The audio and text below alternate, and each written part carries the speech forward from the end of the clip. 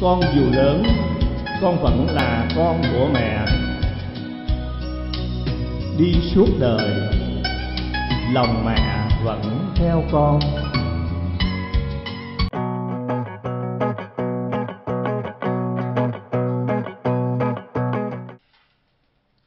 Hi, xin xây dựng xin chào mọi người. Hôm nay là ngày mùng 2 Tết năm 2021.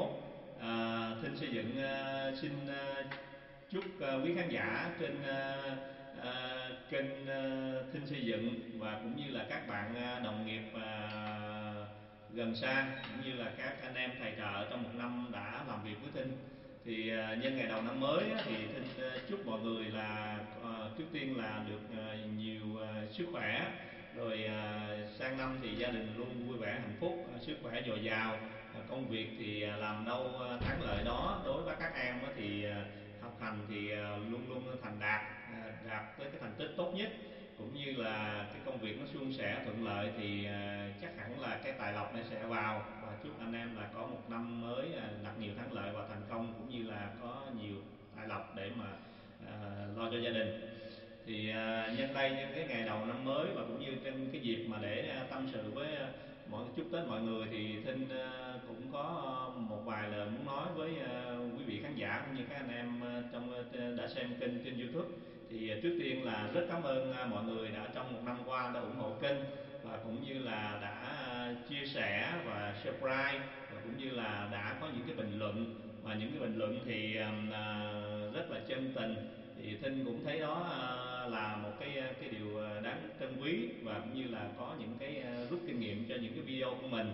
Tuy nhiên thì ờ, thinh cũng có vài điều muốn nói với cái, ờ, cái mọi người là cái đương nhiên là à, có khi à, cái cái cái mục đích của thinh làm cái kênh youtube này á là trước tiên á là muốn lưu lại những cái kỷ niệm à, những cái cái gì mà kinh nghiệm của mình à, đã có được và những cái kỷ niệm đối với anh em trong quá trình làm nghề để làm một cái kỷ niệm và để, để thinh muốn làm cái kênh youtube để chia sẻ chia sẻ và để lưu lại cũng như là ờ, thì ờ, thật sự mà nói có khi là cái ờ, trong cái thinh là chưa chắc gì có những cái cái trình độ được cái trình độ như các bạn như mọi người các em.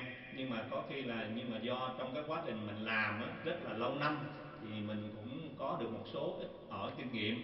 Thì muốn chia sẻ với mọi người thì đương nhiên là mình sẽ đối với quy chuẩn đối với kỹ thuật thì mình sẽ còn có nhiều thiếu sót thì à, anh em à, nào mà có thấy thiếu sót chỗ nào thì comment bổ sung à, giúp thêm nha. Rồi còn thật sự mà nói thì thiếu sót do là mình có khi là mình không cái cái đủ cái cái trình độ để mình mình tiếp thu và cũng như là thiếu sót để để mà mình triển khai với anh em. Nhưng mà nói cho cùng thì khi mà các bạn ra thi công á, thì các bạn sẽ có những cái suy nghĩ nó nó giống như thinh vậy thì uh, lúc nào cũng vậy chủ đầu tư khi mà thi công một công trình họ luôn luôn muốn cái công trình nó đạt đến cái tiến độ nhanh nhất.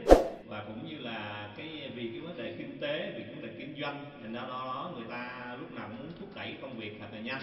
Thì uh, mình thì ờ, với những cái phương phương tiện gọi là thô sơ thôi các bạn phương tiện thô sơ thôi thì có thể là nó nó sẽ không đem lại những cái cái cái việc làm đúng chuẩn và đúng chính quy.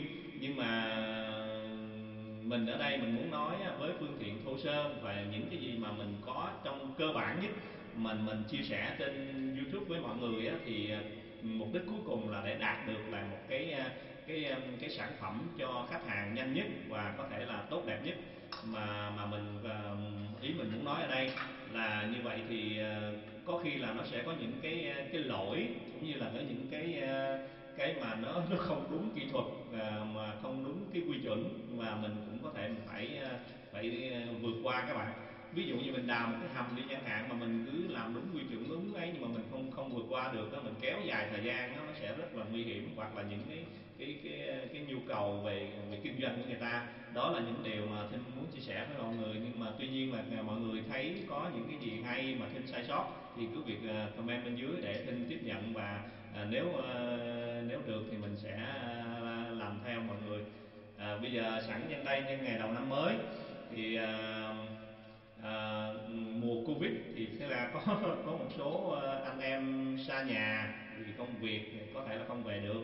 Thì à, nhân ngày đầu năm mới thì cũng như là những người à, vì à, à, mưu sinh công việc không về quê được cũng sẽ nhớ gia đình và cũng như là những người lính à, khi xưa là bác Duy Khánh đã sáng tác ra mình mượn lời của bác Duy Khánh để uh, chia sẻ với mọi người một bài hát uh, để mọi người nhớ về à, uh, mỗi người không không thể về được uh, quê thăm quê vì lý do covid mà cũng như những người lính xa nhà thì để có thể mà mà nhớ về cha mẹ à, cũng như nhớ về những cái sự đầm ấm của uh, gia đình trong những ngày tết nha mọi người nha.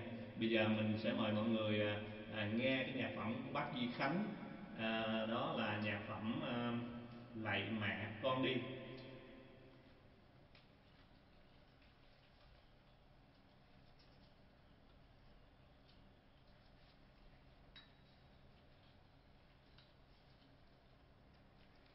Rồi, mời mọi người sẽ nghe bài hát của bác Duy Khánh nha.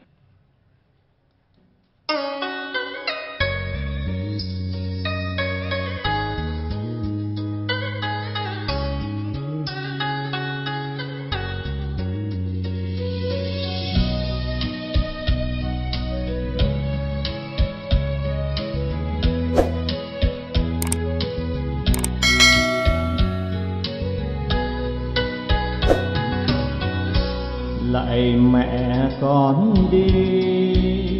Ôm ấp linh hồn Việt Nam. Lạy mẹ con đi, nối theo chí hùng ngàn năm. Vắng con mẹ buồn là bởi ý thiên khơi còn gì hơn tình nước vương trong tình con.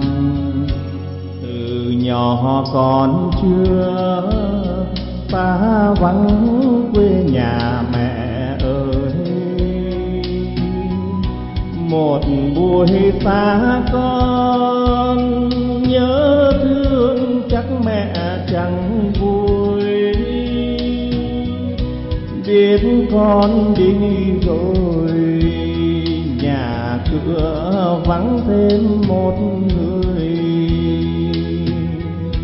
Ôi mẹ vì con từng hy sinh cả cuộc đời.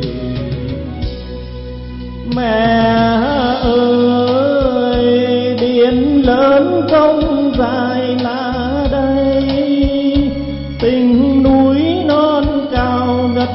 trời không thể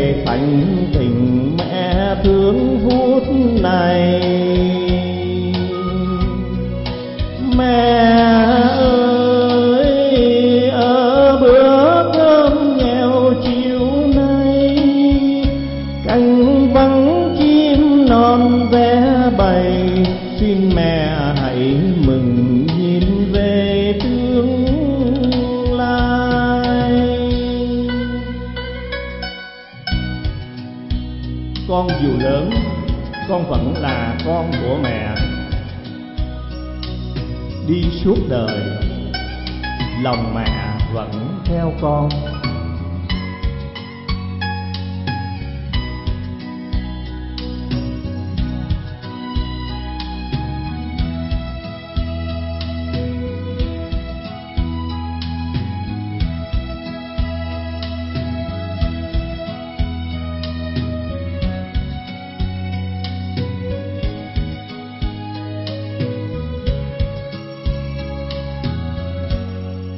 Từ nhỏ con chưa xa vắng quê nhà mẹ ơi. Một buổi xa con nhớ thương chắc mẹ chẳng vui.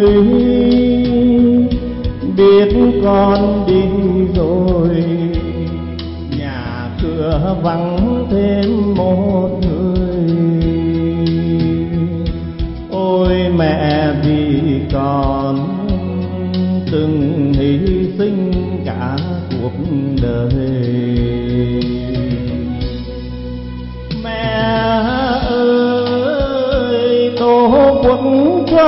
chờ tình con.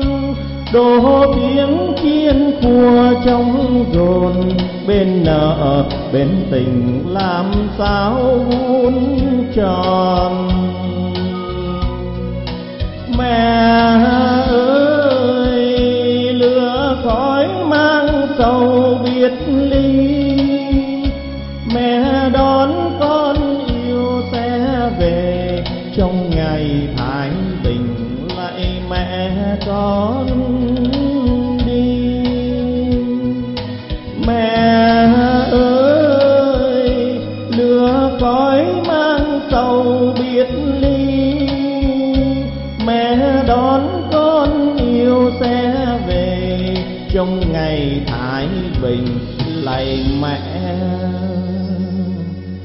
God.